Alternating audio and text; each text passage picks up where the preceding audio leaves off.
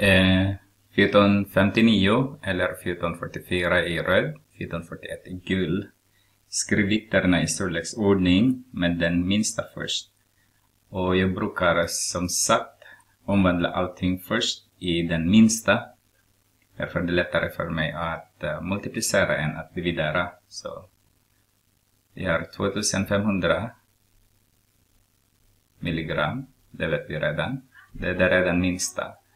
Och vi har 20 gram. Vi ska omvandla den till milligram. Och det vet vi att ett gram är 1000 milligram. Så vi multiplicerar den här med 1000. Så har vi 20 000 milligram. 0,15 hekto, hektogram. Det vet vi att eh, 0,15 vi omvandlar först den i gram. Då har vi multiplicerar med 100. Ett två steg i eran. Hekto betyder 100 gånger större än gram. Så har vi eh, 2 gånger 15 gram. Och som motsvarar i milligram nu så har vi 15 multiplicerat med 1000.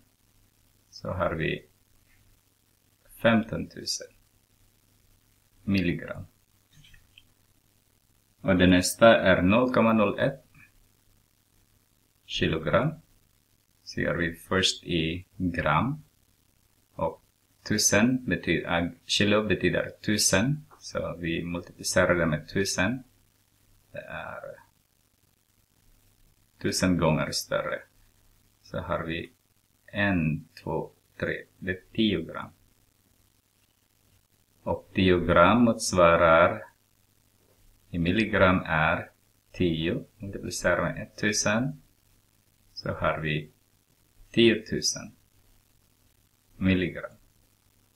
Så hur skulle vi göra? Minsta först. Så det minsta är 2500 milligram.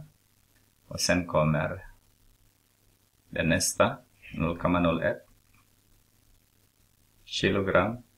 Det är 10 000 milligram i det. Och det nästa är 0,15 hektogram.